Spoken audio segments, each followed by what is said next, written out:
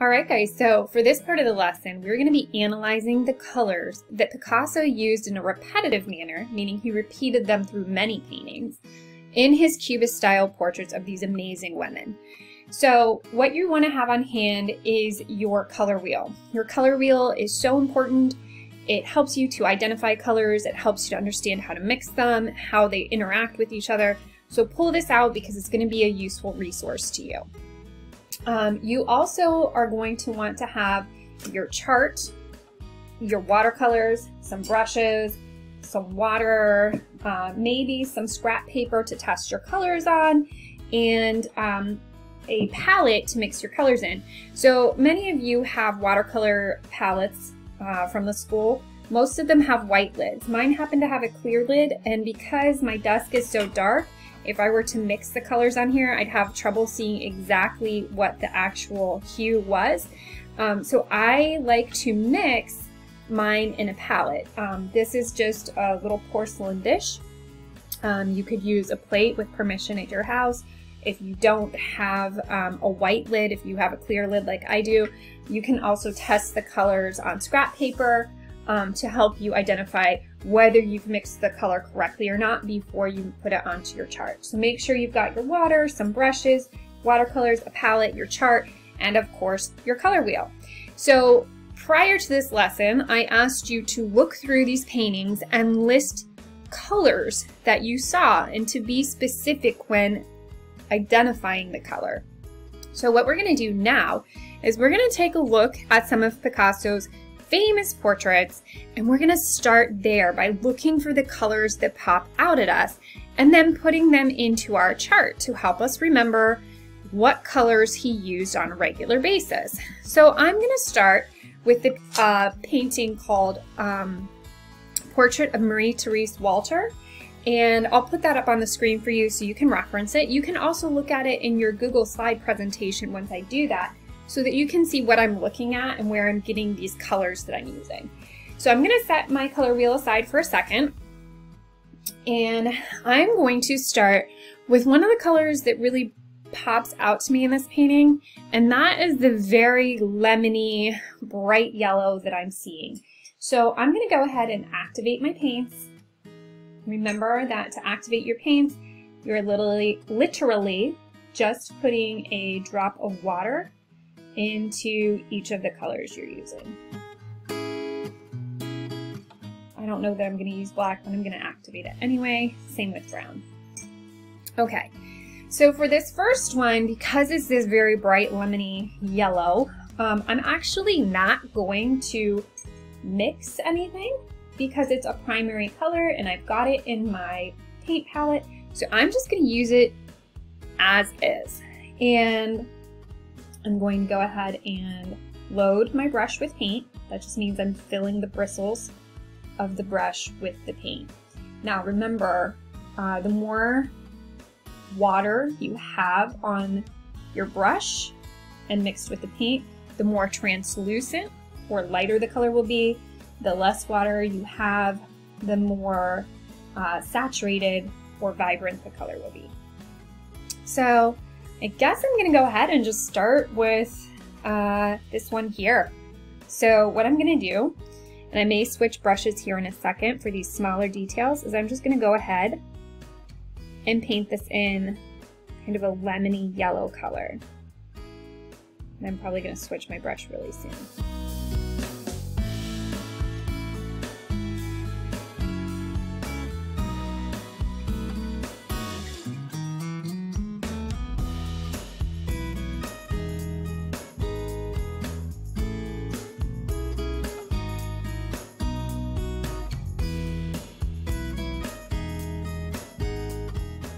Okay, so now I'm just gonna go ahead and let that dry. Rinse my brushes so that they're nice and clean. And I'm gonna go back to that painting and see what other colors I can identify. Now, what I noticed as I looked through the Google slide presentation I made for you and I looked carefully and very closely at these paintings is that he did use some colors very consistently. So we're seeing yellow in pretty much every single one of these paintings. So another color I noticed that he used in almost every single one of these paintings is blue. So again, depending on your paint palette and the color we're trying to achieve, you may want to adjust it. Uh, but for this, I'm going to use that primary blue that's already been provided in my paint palette. And I'm not going to mix this because remember, this is a primary color. Um, so I can't actually make it by mixing anything. So I'm going to go ahead and use blue for my next one. Now, when I go to paint, remember that I don't want to paint any of the squares that are touching the one I just painted. Stop and ask yourself why that is. If you said it's because your colors would run together, you're absolutely right. So what you want to do is pick another spot on your chart where the colors or the sides would not be touching. So you could do something that's diagonal. That would probably be okay. But just to be safe, I'm gonna go over here and I think I'm gonna do one of these here. So I think I'm gonna come up here and I think I'm gonna paint this square in right up here. And if your blue in your palette is a little bit different than my blue, that's okay. They, they are different depending on uh, the manufacturers, and even just um, from time to time you get different blues from Crayola, which is what I'm using right now is um, just a Crayola paint palette.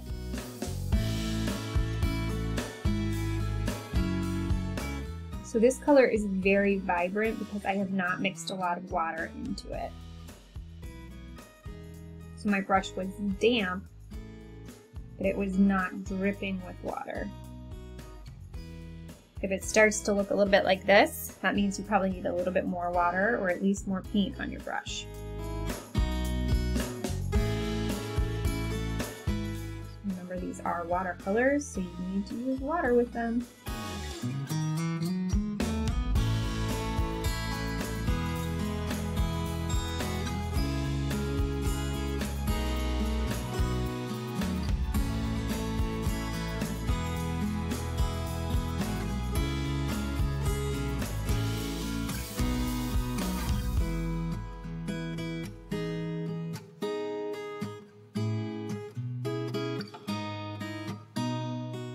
I'm gonna wash my brushes out and I'm gonna look for the next color that I'm gonna use on my chart. And again, I'm gonna look through all of the paintings and then I'm going to try and identify another color that I see used consistently.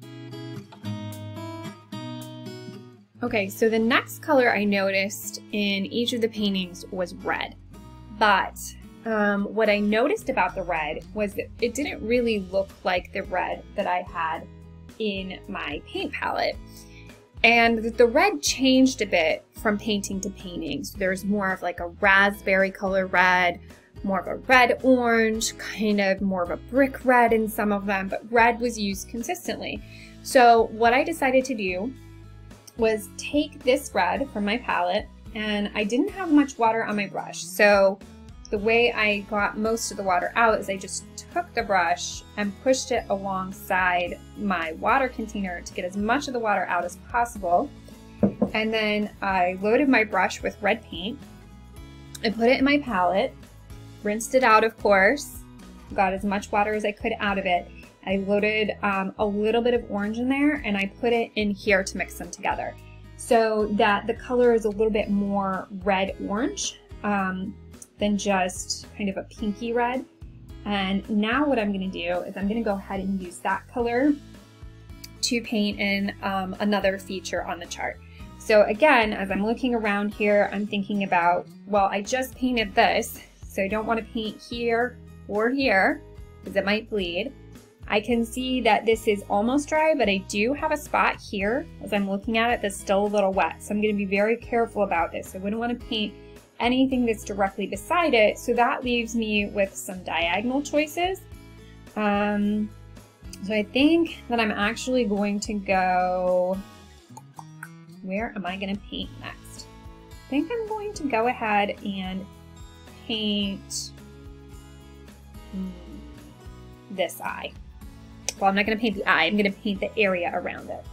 So I'm going to go ahead and I'm going to work very carefully at the corner because if that yellow is wet and I have wet paint on my brush, there's a chance they could bleed together. Um, so I'm going to work very carefully when I get to there.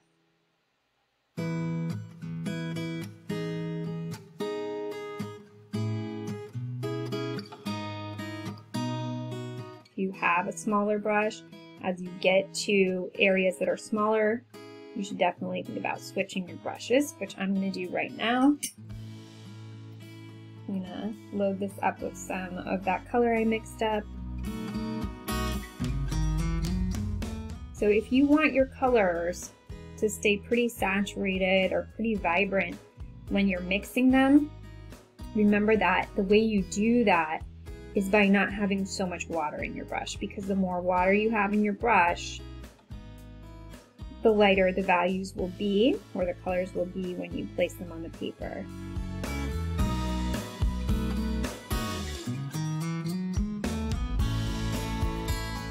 Remember to pause, rewind, and take your time in this video. Um, a lot of this will be sped up. Remember that I am actually in reality painting slower.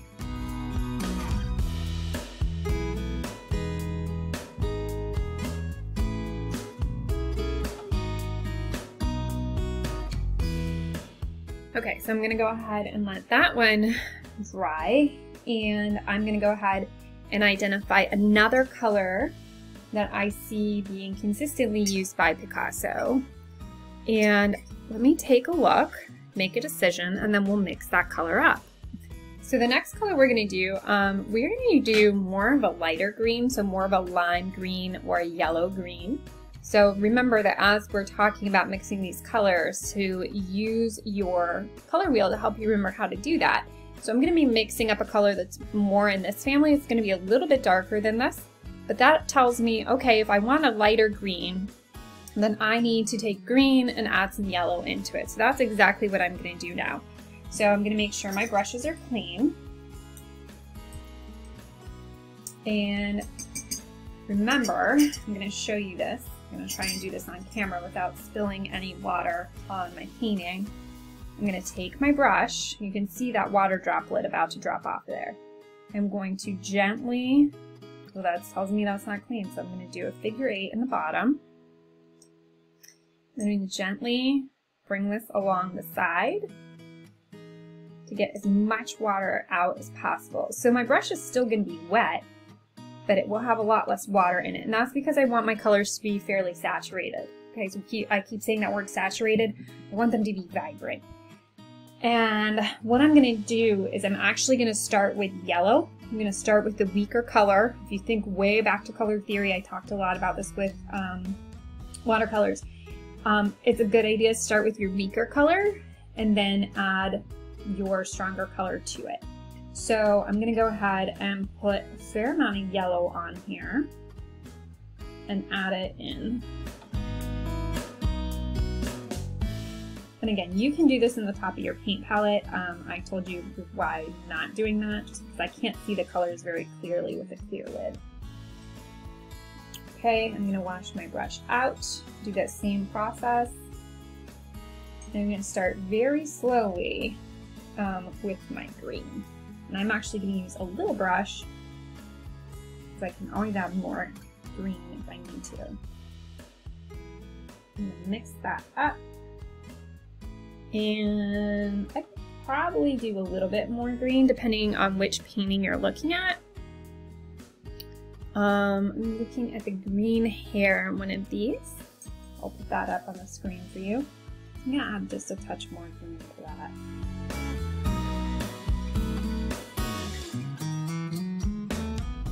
Closer, so maybe a little bit more.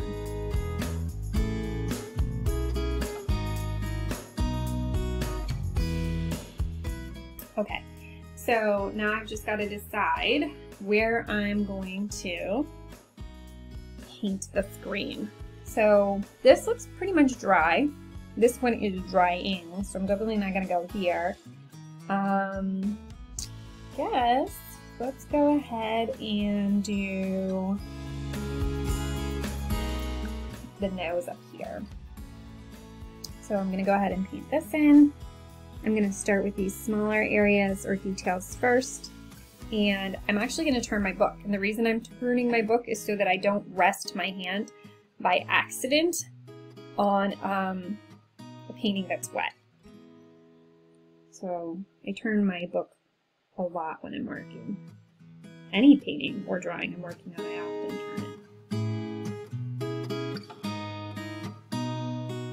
Because it really doesn't matter if your painting's upside down when you're working on it, if you're just painting in an area.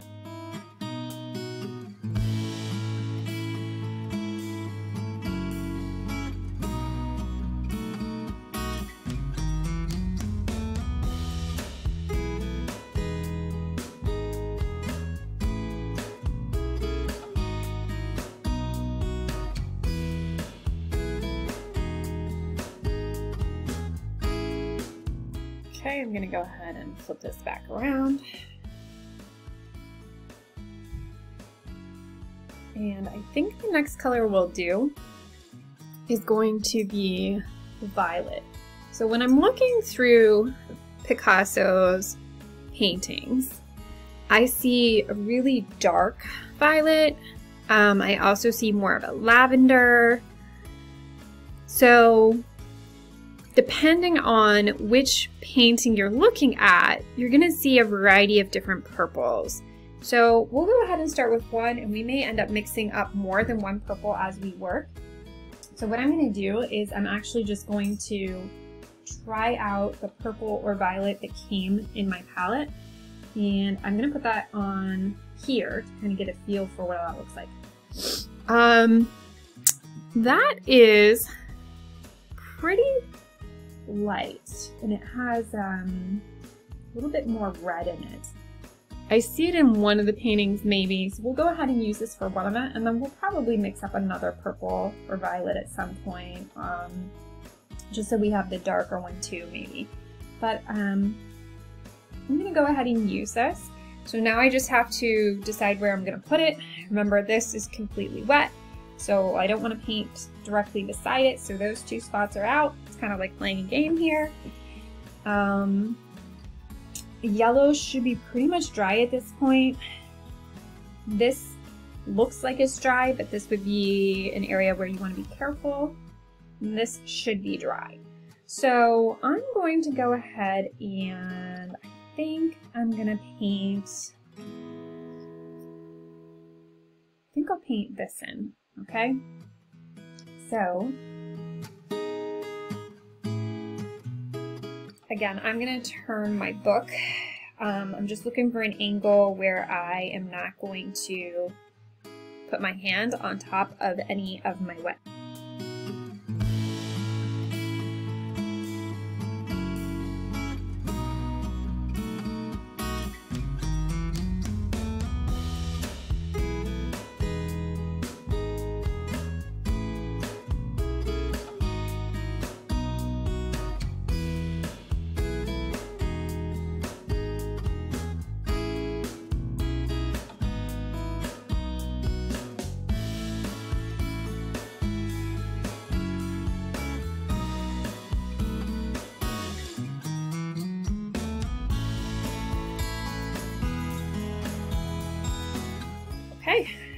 so we've got a couple of our features painted in here using some of the colors we're seeing in these paintings by Picasso.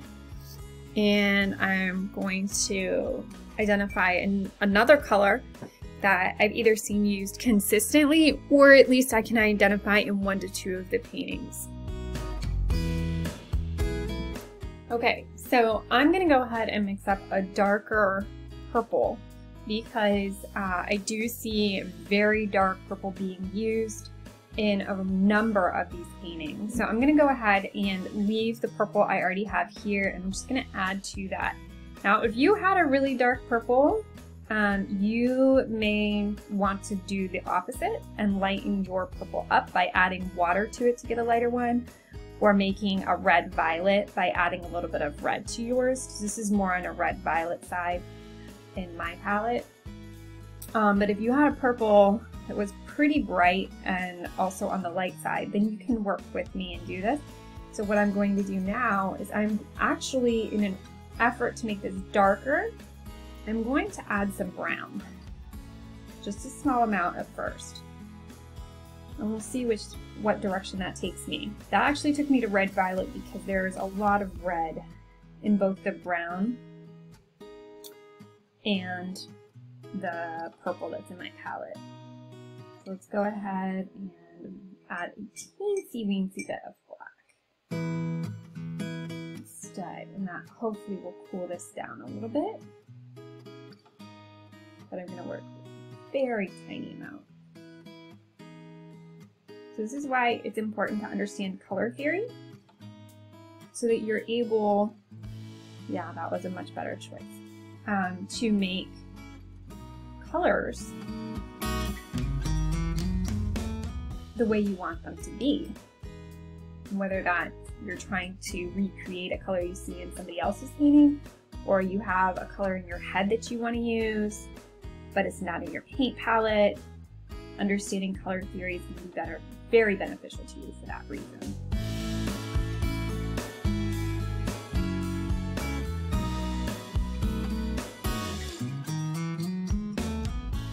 Add a little bit more black to this because each time I add um, some of the purple or violet, it warms it back up a little bit.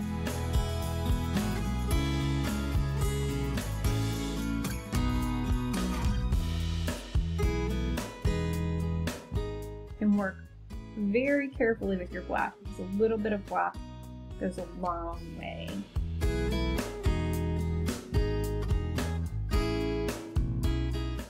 Go ahead and test out what that looks like on a scrap paper before I use it.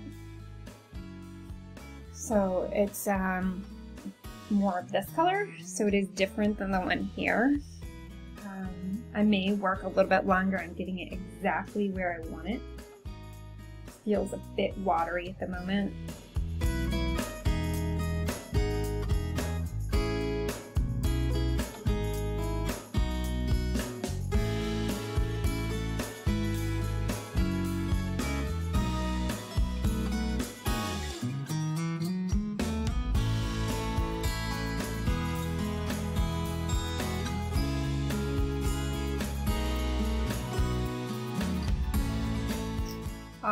So I'm much more satisfied with this now. So I added a little bit of blue, and what you probably noticed is that uh, while I sped this up for you, it actually took me a couple of minutes to get myself to the purple I wanted.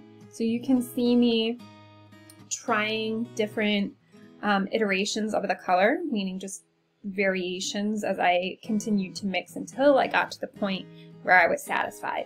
So what I did again was I took my purple, tried brown. It was too warm, so to cool it down, I added my black, um, continued to mix, and then I added a touch of blue to it to get to where I am here. And I'm going to go ahead and use this color now.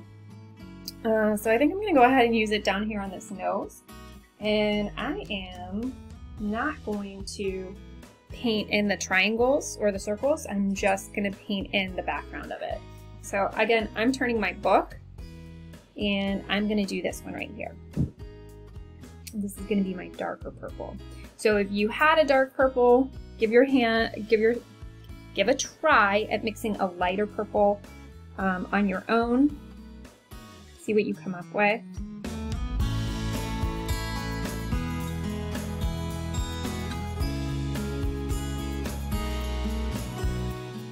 And Another tip, make sure you mix up enough of the color that you plan to use. That's the worst when you mix up a color and you run out of it and then you can't match it exactly again.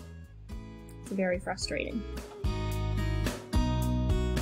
I'm going to switch to a smaller brush. Side of the line a little bit, not the end of the world. I'm going to show you one other tip um, that I learned the hard way. See how these little droplets of water on my brush? I'm not sure if you can see that in the video.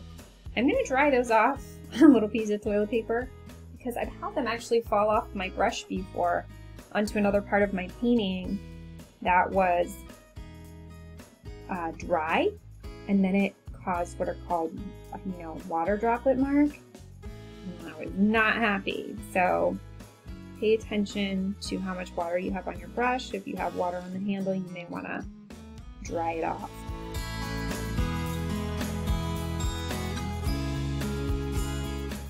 We're working in a bigger area. Use a bigger brush. If you're working in a smaller area, use a smaller brush, or if you want more control, I I have more control with a small brush.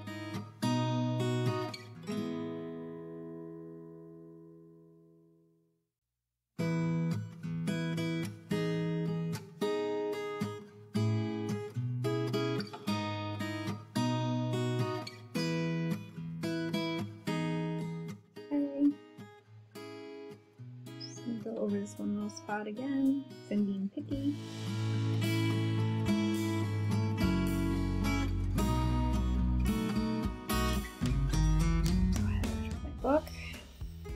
And I already know what color I'm going to do next because as I was looking the last time, um, I noticed that there was a lot of yellow orange or ochre color. Ochre, not okra, ochre color and I'm gonna go ahead and mix that up. So again, you know, here we go with color theory again. Let's think about how do we make that. We're gonna be starting with our yellow because it's the weaker color and we're gonna be adding a little bit of orange, maybe even a touch of brown, um, depending on how accurate I feel the color looks. So, cleaning my brushes. My yellow is actually dried out a little bit since I've been working because it's taken me about 40 minutes so far.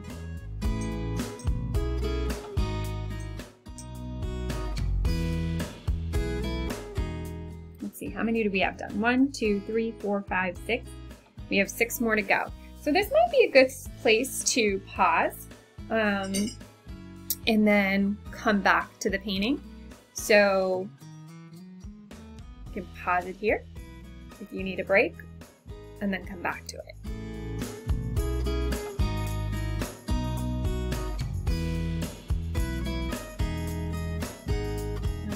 So I'm going to keep going. So to make this color, I am going to use a new spot in my palette. The palette's fun because it has different spots for different colors. So I'm going to turn mine. You could always um, wash your palette out or whatever, but I'm actually going to keep these colors in case I decide to use them again. So I'm going to go ahead and mix this up. Lots of yellow first. Looking at the painting Weeping Woman um, for this one to try and figure out exactly what color orange I want to use. So you could pull Weeping Woman up on your screen. Take a look at it. You can go ahead and add a little bit of orange. I feel like I'm going to need a lot more yellow in this.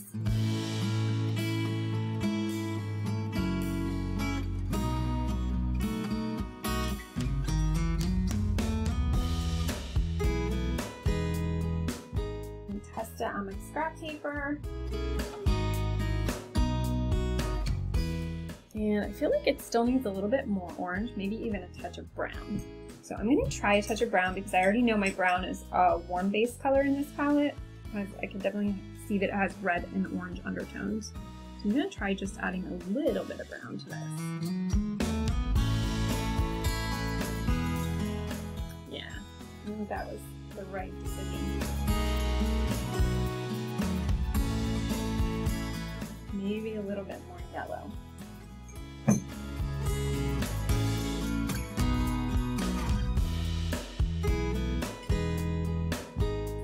I tend to go through my yellow really quickly in my paint palette because it takes so much of it when you're mixing colors. It's just a much weaker color when it comes to watercolors.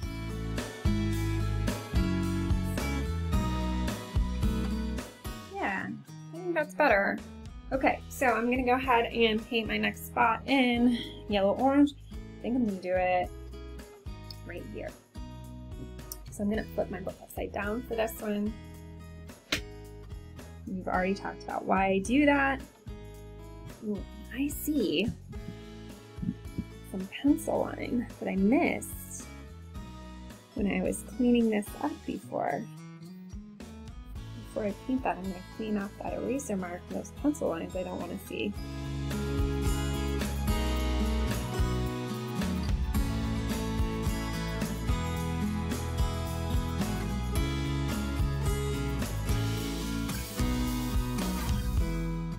Small brush as I work along the edges of my grid here, my chart. And if you've been following along with me, you really shouldn't end up with too many bleeds in your work. The colors should not be running together if you followed along. Because I've worked very intentionally thinking about where should be dry,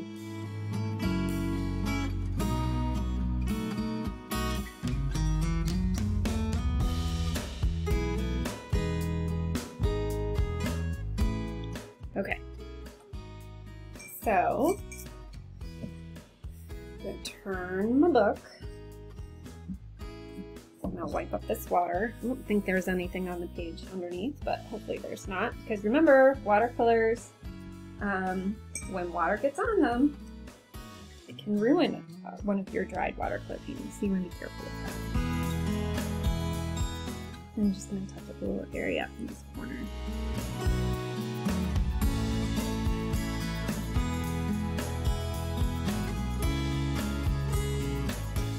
So time to pick some more colors to make. I think we're gonna work with that kind of raspberry red, kind of the red violet that I saw happening, and then maybe a darker blue.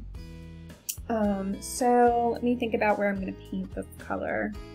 Kind of that raspberry red.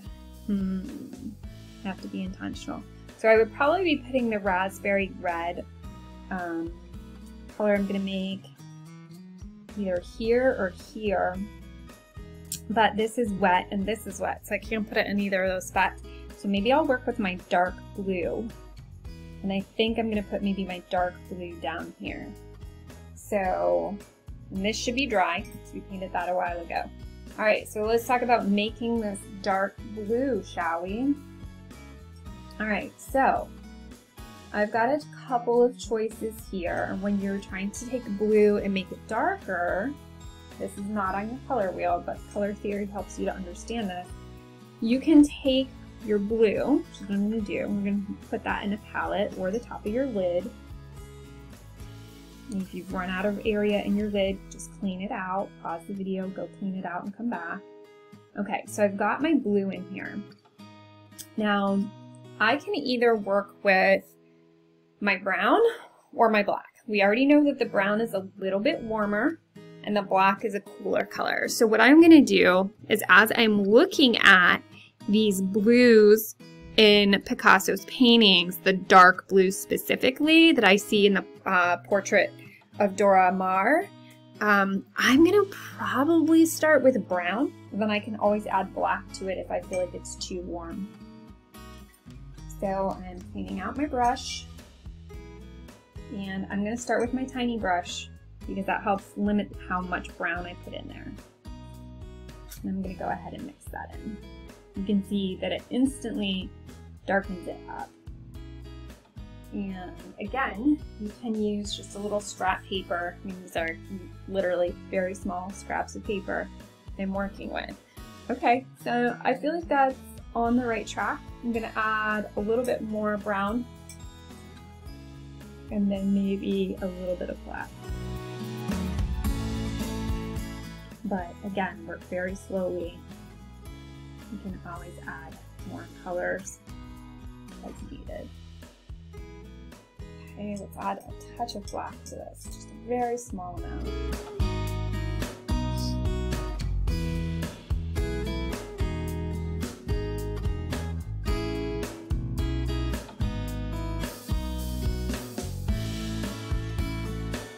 There's not a whole lot of difference between those yet. I think that'll work. It's good enough. Alright, we don't have to be perfect. And I think I said I was going to put it down here. Oh no, I got a spot of blue. So I'm gonna, I see I got a little thing of blue here. Dab straight down and lift up. But it's gonna remain there. I'm gonna leave it for there because if I do anything else to it, it's just gonna mess it up. So, not the end of the world, mistakes happen. Alright, let's go ahead and I think I said I was gonna paint here or here, kind of that raspberry color. This looks like it's still probably wet, so I'm gonna go ahead and do my dark blue here, I think.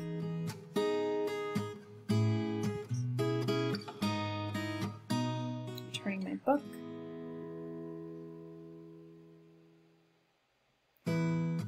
This one, I'm just gonna make up a line right here, the curve of the ear, so that I'm not gonna, um, I don't know, maybe I guess, I don't know, I can't decide. right now I'm gonna leave this like this, okay? And then if I change my mind, you'll see.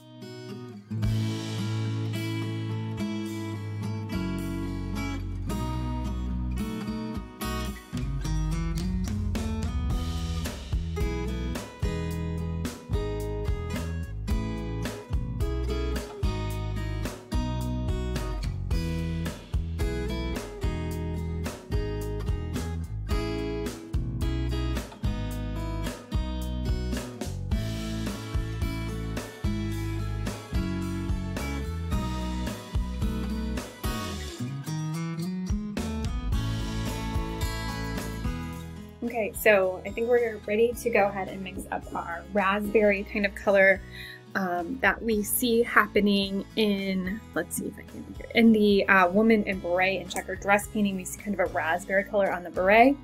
Also makes me think of a Prince song, Raspberry Beret. Um, so let's go ahead and mix that up, and then I think I'm gonna paint it um, right here, I think. Okay, so let's go ahead and do that. So I'm gonna start with my purple or violet. Get that all set. And actually I'm gonna start with my red because it's not as dark. So we're gonna start with our less powerful, as I like to call it. Um, start with the red.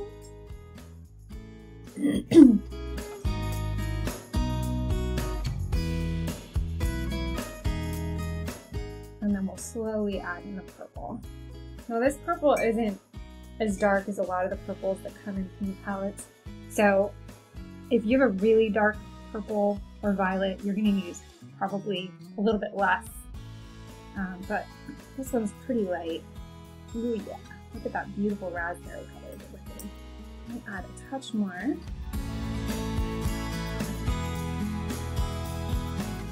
Okay.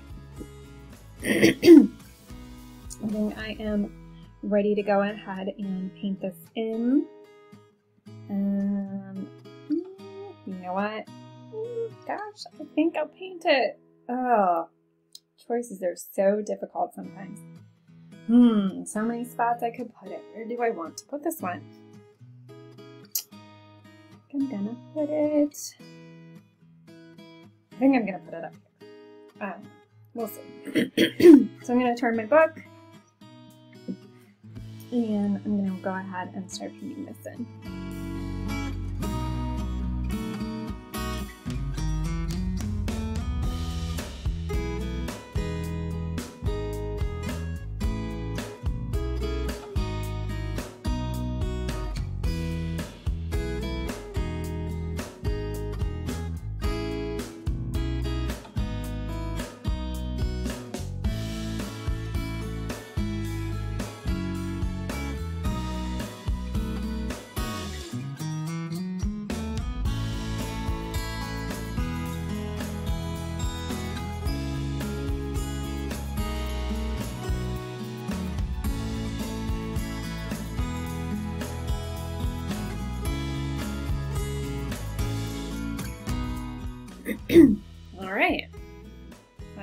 Figure out which color we're gonna do next.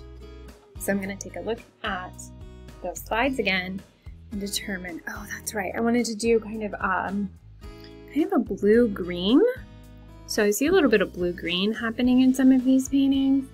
So again, this point, you should know how to make that, but we'll review it. We have blue and green, which make blue-green. And I'm gonna go ahead and mix that in my palette. So um, I'm gonna turn this this way so that you can see me mix it. Okay. And where am I gonna put this blue-green? I definitely don't wanna put it here. That would be so much blue. All right, I think we'll do the blue-green down here probably. Okay, so I'm to start with my blue. Remember, if your water gets really dirty, to change it.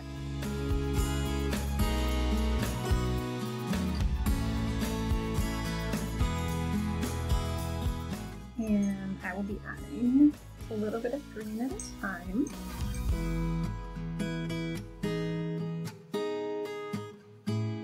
That was way more green than I meant. Oh, so much for a little bit. Okay, so that means I'm to add a lot more blue to this.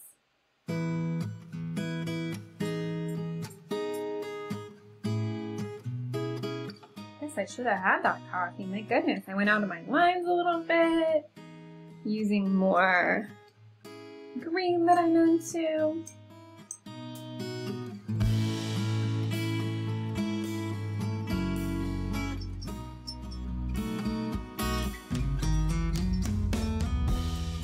Okay, So the blue-green I'm seeing is in, again, um, actually um, in a few of these. So depending on which blue-green you're looking at, you may want to add more blue um, to yours or a bit more green, depending on the values of your blues and your greens. Ah, oh, that's so much better. Okay. Alright, so let's go ahead and paint this in... Where did I say it? Did I say I was going to put it here? Hmm. I think... Yeah, we'll put... I, I think... I think we'll put it there. Hmm. Yeah, sure. Why not? I love this color. Feels very much like the ocean to me.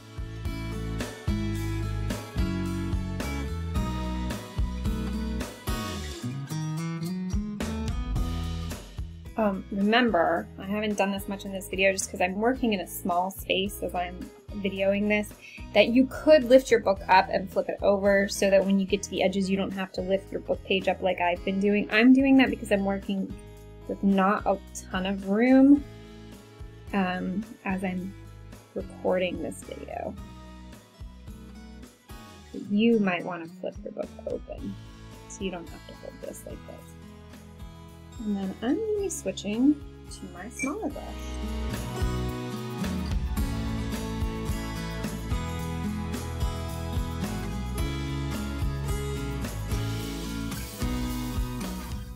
Book just so that I have an easier angle for some of this for my hand.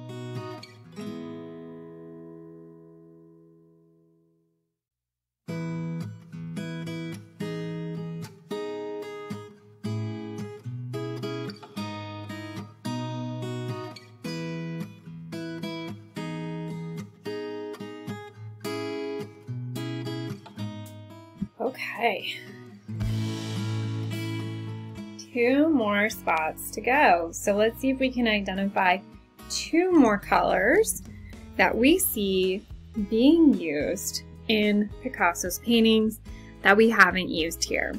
Now, you could go with the neutrals, you could go with a brown or a black, but let's see if we can challenge ourselves to come up with another color that we see being used in at least one of his paintings that have been shared with you. So I'm going to go ahead and take a look and see what I can come up with. Okay, so as I've been looking through the paintings and trying to identify another color, I've seen some variations of green, kind of like a pistachio green, teal green, kind of a lime green, um, kind of like grass green, so a lot of different greens to choose from. So let's go ahead and see what we can come up with. Um, the first thing I'm going to do is just see what the green looks like straight out of my paint palette to see does this remind me of any of the colors I'm seeing. Um, and then, because I don't want it to be identical to this one, right? I want some variation. So I can also try making that pistachio kind of green that I mentioned. So I think for that, I'm gonna give this a shot. I'm gonna do your green, my green in my paint palette anyway. Depending on what your green looks like, you may do some variations. I'm gonna add a little bit of yellow, and then add a touch of brown uh, to, to uh, kind of neutralize it a little bit.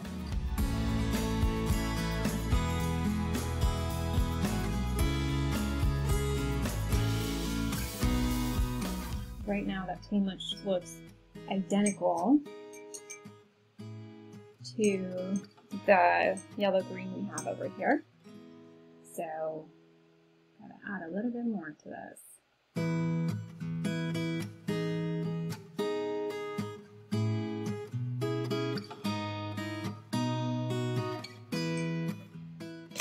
Add, uh, like I said, I'm going to try adding just a smidge, teensy weensy bit of brown.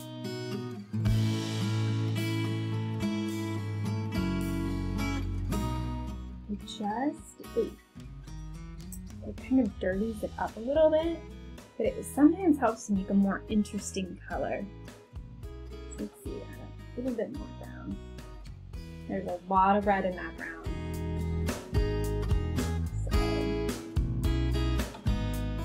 Okay, what I'm going to do is I'm going to go ahead and try this on the scrap paper.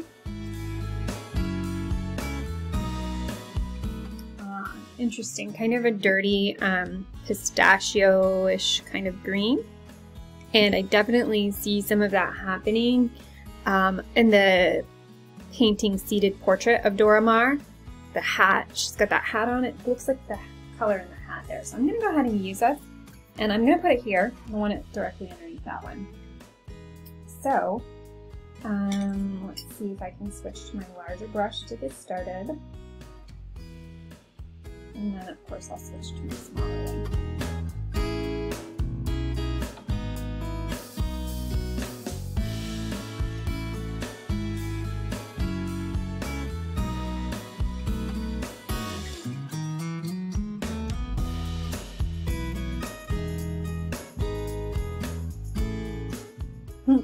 kind of like a Shrek colored green with a Shrek looking ear.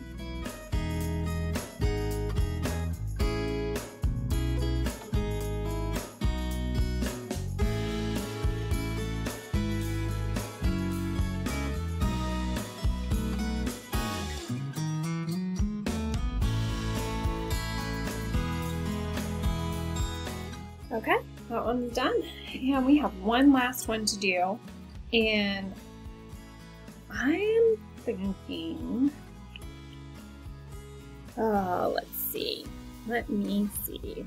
Okay, so I think I'm going to try and do almost like a lilac color. So somewhere in between the raspberry and this, um, somewhere between like a pink and uh, violet, but definitely I'm going to shoot for a little bit more purple uh, and maybe a little bit lighter.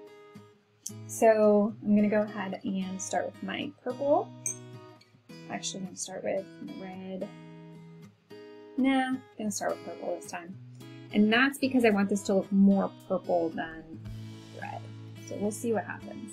If I don't like the color I mix up, I don't have to use it.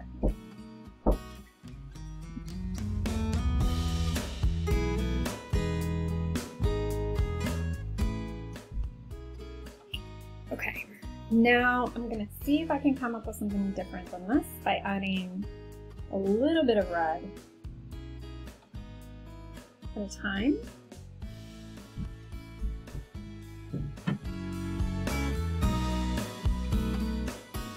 so close. I don't want them too close. I'm going to test it on the paper. I'm so close. It's not the same. Um, think what I'm gonna do, oh, this is tough, is add a little bit of water. If you had white watercolors, you, you could add that, but I know most of you don't. So I'm gonna just try doing this with some water.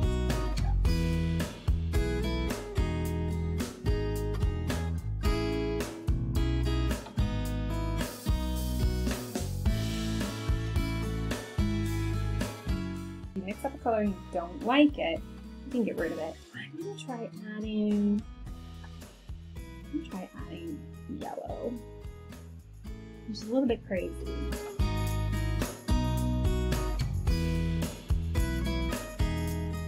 Because when you take two complementary colors and you mix them together, you generally end up with brown. so that's why I said this is a little bit crazy that I'm doing. Let's just hmm.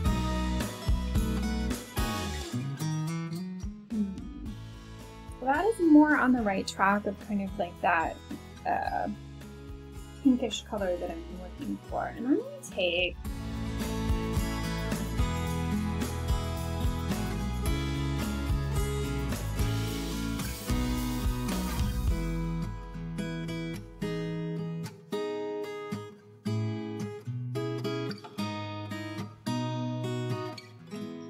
loading my brush up with that. I'm going to go ahead and paint this. I'm going to turn this this way. Yeah, it's kind of this blush, a little bit of lavender, a little bit of a hint of lavender in it.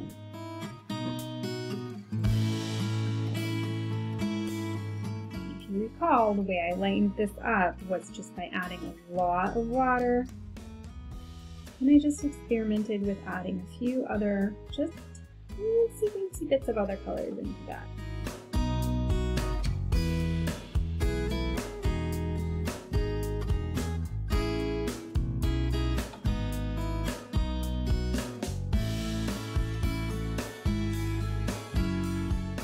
Okay, so now what we're gonna do, you're gonna do this part on your own, is I'm gonna have you go ahead in and go ahead and paint in these different parts. Um, so I think it would be fun to paint these in the rest of the way. So you can go ahead and use these colors that we've already identified, um, plus neutrals, which would be brown, black, and white, to fill in the details of the paintings the rest of the way. Okay, so have fun. Um, when your work is done, you're to be posting that for me to look over because we have a really fun, I think, project that we're going to be using this chart to help us with, which is we're going to be making a sculpture. Um, I know it sounds crazy. We're going to be making a sculpture inspired by these paintings, using these colors, using these facial features, and we're just gonna have a lot of fun with it. So it's gonna be important that you have this to help you through that process. So go ahead and finish up this painting using these colors, repeating them. So basically any color you see in the chart you can use again, plus your neutrals, brown, black, white, um, any of those are fine. And then I look forward to seeing what it looks like when it's done.